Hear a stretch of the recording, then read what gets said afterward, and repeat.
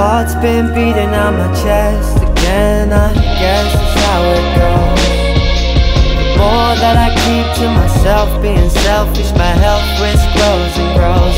It's just a lot of self-induced pressure From a train second guesser With the fire that is soon to dim.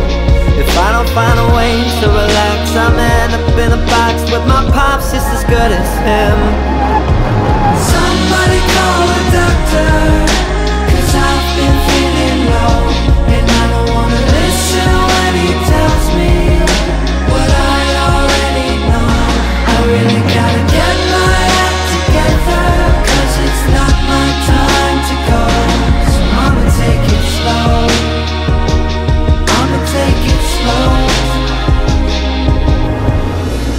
There is something I can feel deep inside.